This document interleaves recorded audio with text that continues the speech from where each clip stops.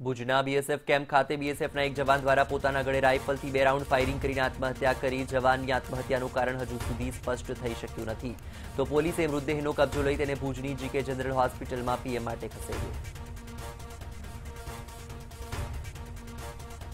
ભુજના દેશલપર ગામે ગમખ્વાર અકસ્માત સર્જાયો હતો. બોલેરો અને સ્કૂલ બસ વચ્ચે અકસ્માતમાં એકનું મોત થયું છે. તો દાદા દાદી પાર્ક પાસે અકસ્માતમાં બોલેરોમાં સવાર એક વ્યક્તિનું ઘટના સ્થળે મોત થયું છે.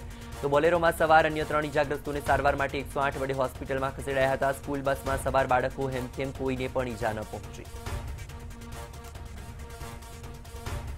ભુજ શહેરના વોર્ડ નંબર ત્રણ અંજલીનગર વિસ્તારમાં આજે ત્યજી દેવાયેલી હાલતમાં એક બાળકી મળી આવી હતી. આસપાસના રહીશો જ તેના પર નજર પડતા તેઓ દ્વારા પોલીસને જાણ કરાઈ હતી.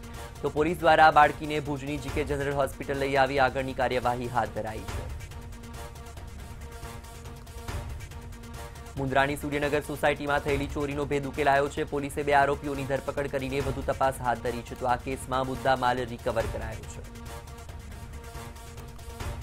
કચ્છ જિલ્લામાં કેરોસીનના જથ્થાબંધ અને છૂટક વેચાણના નવા ભાવો મુકરર કરવામાં આવ્યા છે. દસે દસ તાલુકાના મુખ્ય મથકોના મુકરર ભાવોનું જાહેરનામું કલેક્ટર દ્વારા બહાર પાડવામાં આવ્યું છે, જેમાં સરેરાશ રૂપિયા પચાસની આસપાસ ભાવો નક્કી કરાયા હતા. ડિસેમ્બર મહિનામાં ગુજરાત પોલીસના લોકરક્ષક દળ અને પીએસઆઈ સંવર્ગની ભરતી માટે શારીરિક કસોટી યોજાવાની છે, જેને પગલે ભુજમાં વહેલી સવારે વિદ્યાર્થીઓ શારીરિક કસોટીની તૈયારીઓ માટે રસ્તાઓ, બગીચાઓ તેમજ ગ્રાઉન્ડમાં દોડતા નજરે પડે છે. તેમજ એક્સરસાઇઝ કરી પાંચ કિલોમીટર દોડની પ્રેક્ટિસ કરી રહ્યા છે. હાલમાં થયેલા માવઠાના લીધે ખેતીમાં અસર થઈ છે, ત્યારે છેલ્લા બે દિવસથી કોરાડું થતા વાગડ વિસ્તારના ધરતીપુત્રોએ રવિ પાક માટે તૈયારીઓ શરૂ કરી છે.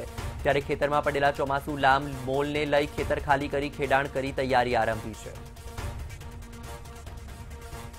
ખેતરમાં ખેડૂતો પાડા બનાવી વાવેતર કરવામાં વ્યસ્ત થઈ ગયા છે, જેમાં વાગડનો મુખ્ય પાક ગણાતા જીરું, રાયડો, ઘઉં, વરિયાળી, શાકભાજી સહિતના પાક માટે તૈયારીઓ શરૂ કરી છે. તો વાગડ વિસ્તારમાં આ વર્ષે જીરુનું વાવેતર મબલક ઉત્પાદન થશે તેવી આશા છે. રાપર તાલુકામાં ખાસ મતદારોના નવા નામ ઉમેરવા માટે તેમજ નામ સુધારવા માટે અને કમી કરવા માટેની કામગીરી હાથ ધરવામાં આવી છે, જેમાં આજે રાપર તાલુકા પંચાયત હસ્તકના નેવ્યાસી મતદાન મથકો પર કામગીરી છે તે, બૂથના બીએલઓ દ્વારા કામગીરી હાથ ધરવામાં આવી છે.